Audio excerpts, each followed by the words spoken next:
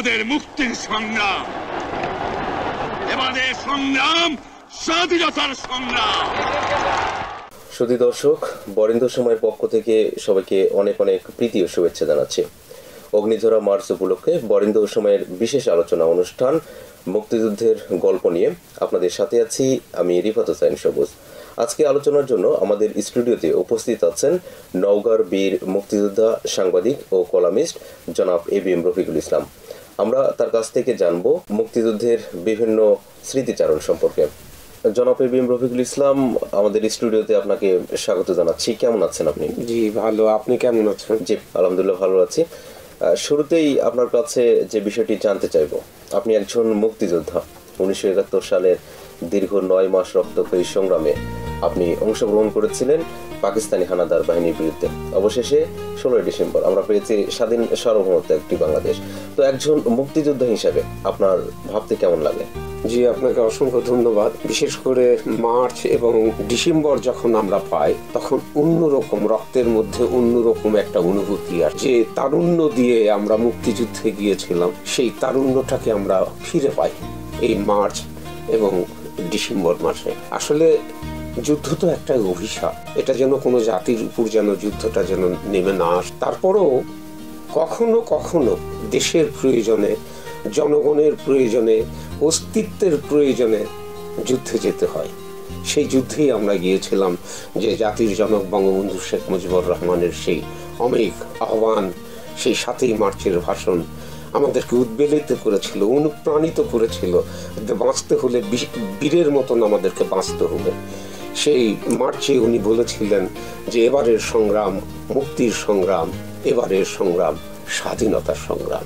এই যে স্বাধীনতা, সেই স্বাধীনতা পাওয়ার জন্য তখন আমাদের তারুণ্যে যে রক্ত প্রবাহিত হচ্ছে, সেখানে আগুন ধরেছে। সেই কলোনিয়ান সমাজ ব্যবস্থার মধ্য থেকে বেরিয়ে এসে পাকিস্তানের সেই অত্যাচার, নির্যাতন নিষ্পেষণ এই যে এর ভিতর থেকে বেরিয়ে আসার জন্য সেই দিন আমরা পিছনে তাকাবার কোনো সুযোগ ছিল না। সেই স্বাধীনতা, সেই কাঙ্ক্ষিত স্বাধীনতাকে ছিনিয়ে নেওয়ার জন্যই আমরা মূলত মুক্তিযুদ্ধে অংশগ্রহণ করেছিলাম।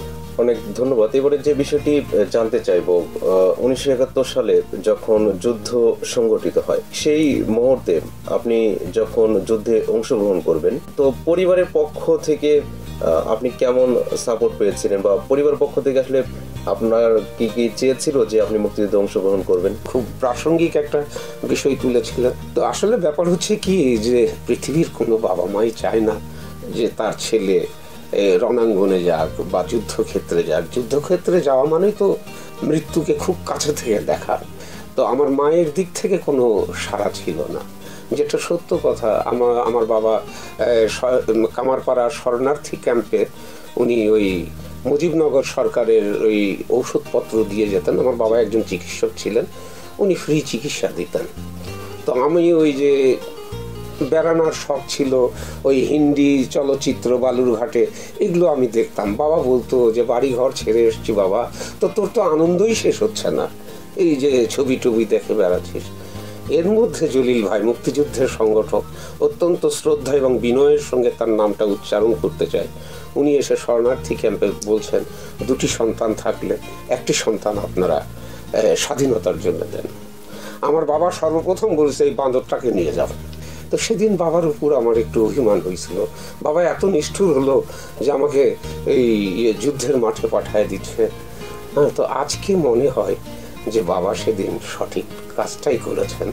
যদি বাবা যদি সেই দিন নিষ্ঠুর না হয়ে তার হাতে যদি তুলে না দিত, আজকে আমি এই সম্মানে ভূষিত হতাম না। জাতির শ্রেষ্ঠ সন্তান হিসেবে আমাদেরকে স্বীকৃতি দেবে।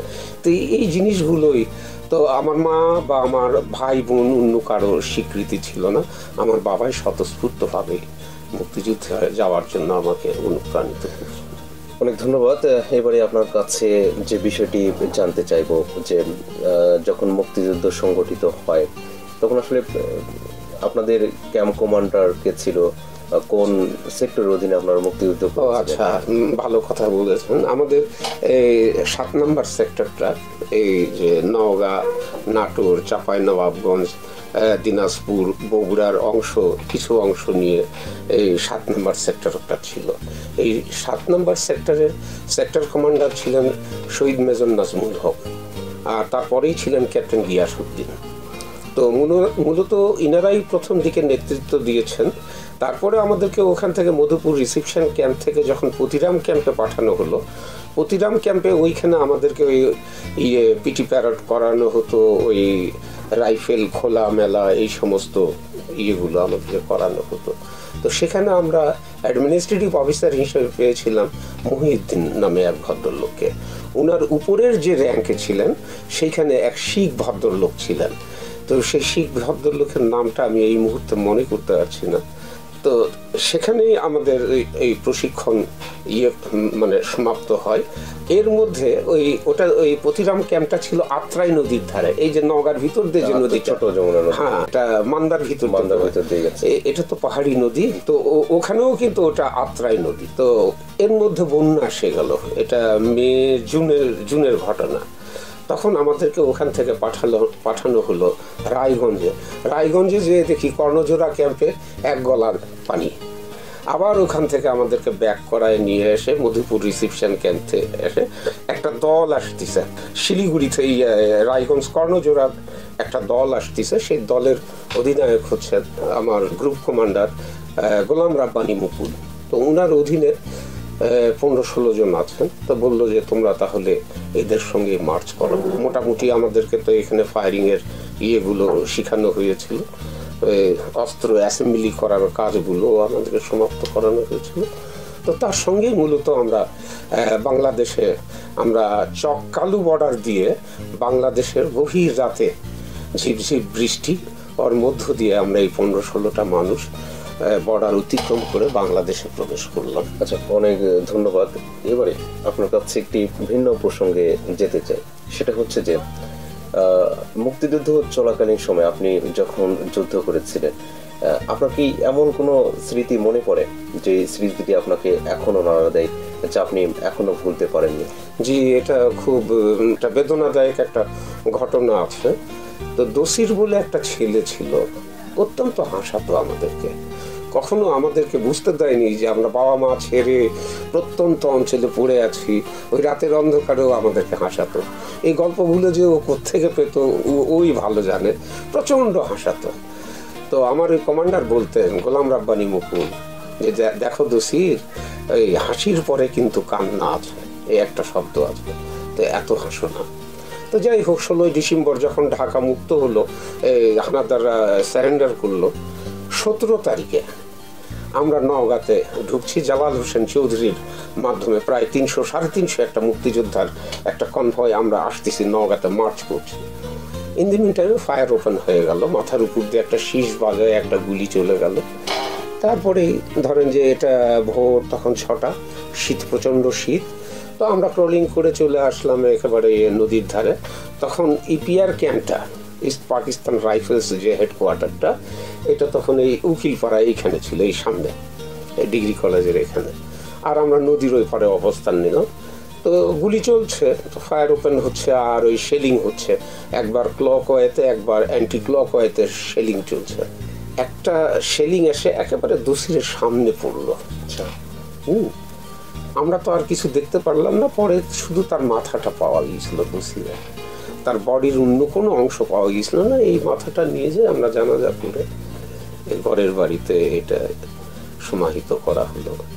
তো এই কথাটা যখন দেখি যে আগের রাতেই এত হাসালো পরের দিন এসে সেই বন্ধুটাকে আর আর পেলাম না।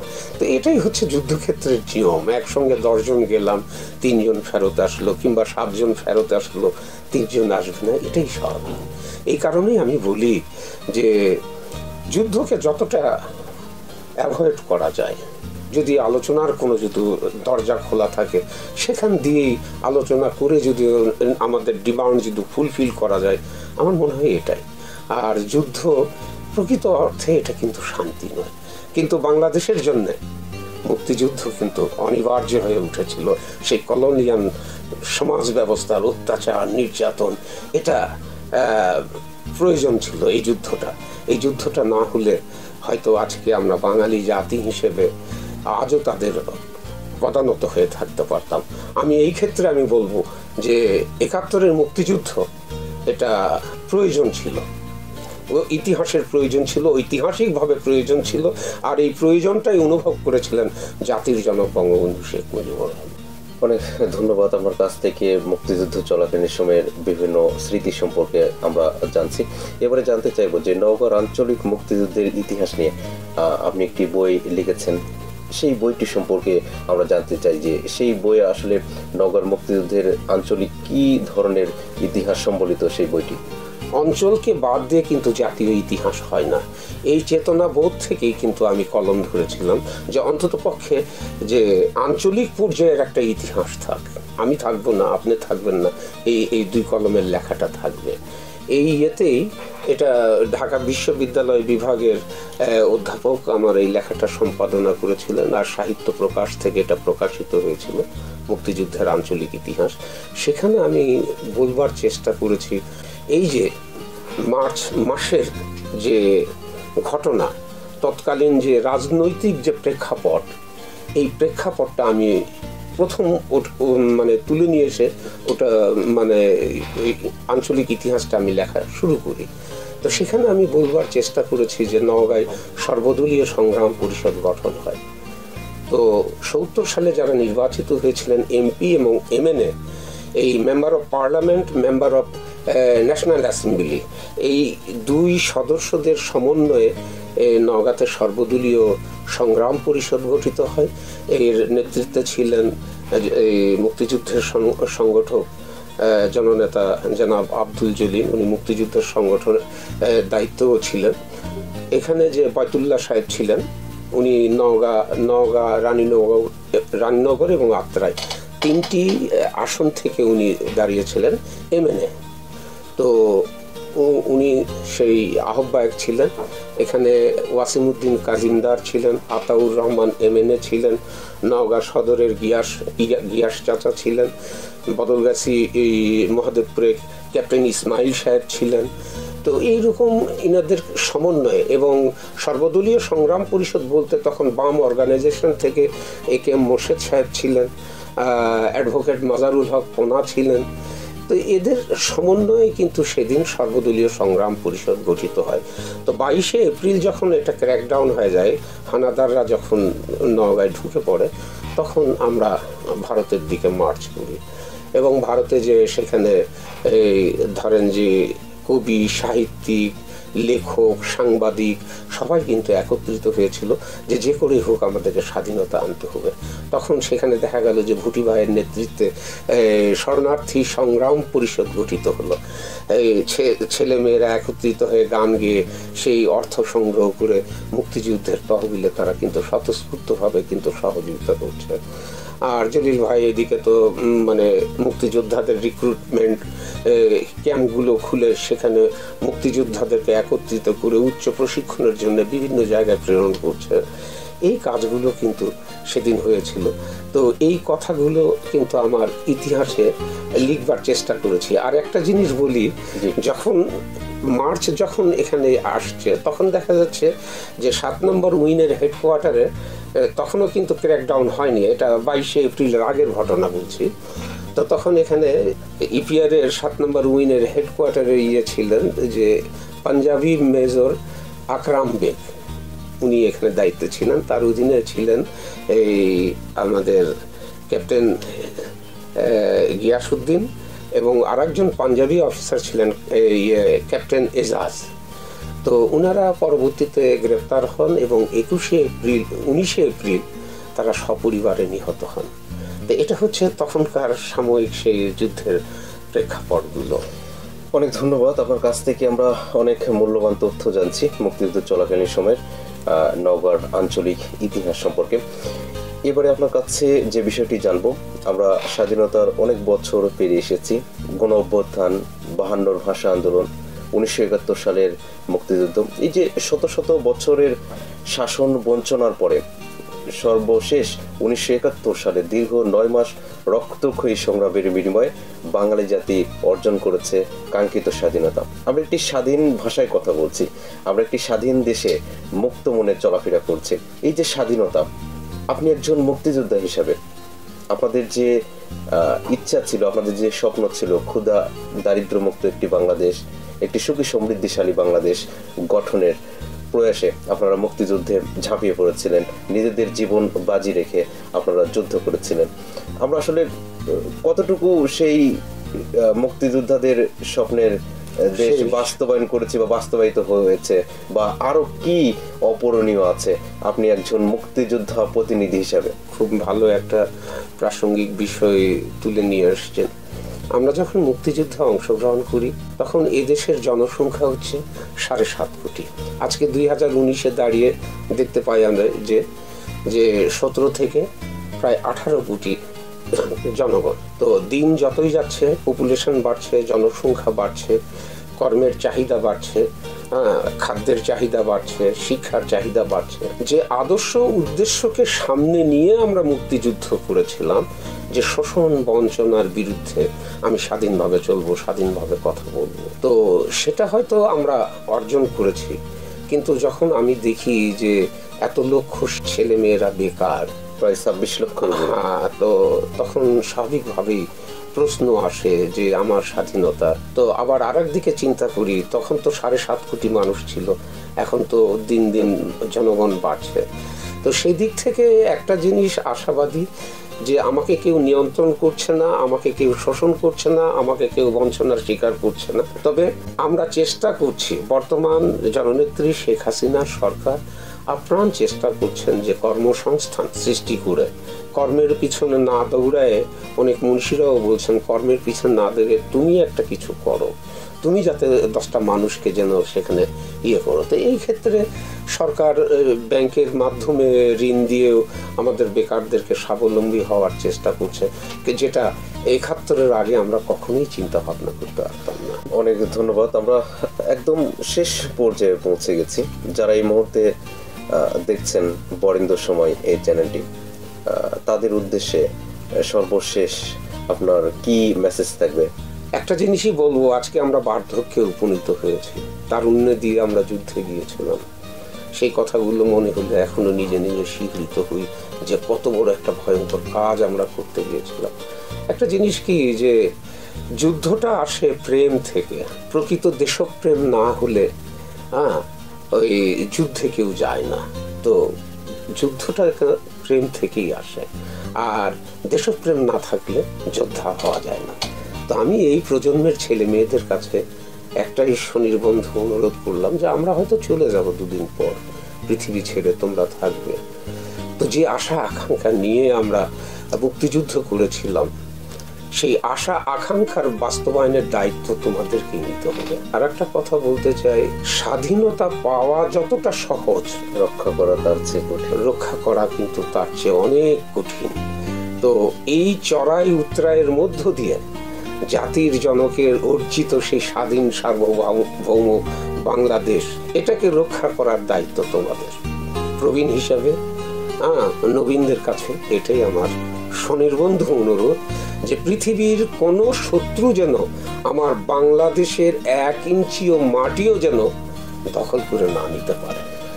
জনাব এ রফিকুল ইসলাম, আপনাকে অসংখ্য ধন্যবাদ জানাচ্ছি গুরুত্বপূর্ণ সময় দিয়ে আমাদের আলোচনায় অংশ নেওয়ার জন্য।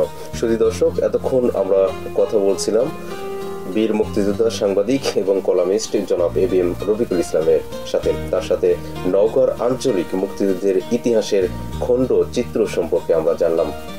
আমরা একটি স্বাধীন দেশ পেয়েছি, তিরিশ লক্ষ শহীদের বিনিময়ে, দুই লক্ষ মা বোনের সম্ভ্রমের বিনিময়ে। মুক্তিযোদ্ধারা নিজের জীবন বাজি রেখে মুক্তিযুদ্ধে অংশগ্রহণ করেছিলেন স্বাধীন সার্বভৌমত্ব একটি বাংলাদেশ গঠনের ক্ষেত্রে। অবশেষে আমরা স্বাধীন বাংলাদেশ পেয়েছি, স্বাধীন ভাষায় কথা বলছি। মুক্তিযুদ্ধের চেতনায় উদ্বুদ্ধ হয়ে সকলকে এগিয়ে যেতে হবে সামনের দিকে। তরুণ প্রজন্মকে জানতে হবে মুক্তিযুদ্ধের সঠিক ইতিহাস। আবারও কথা হবে। অন্য কোনো দিন, অন্য কোনো বিষয় নিয়ে। সে পর্যন্ত সবাই ভালো থাকবেন, সুস্থ থাকবেন। বরেন্দ্র সময় থেকে আজকের মতো বিদায় নিচ্ছি। আমি রিফাত হোসাইন সবুজ। ধন্যবাদ সবাইকে।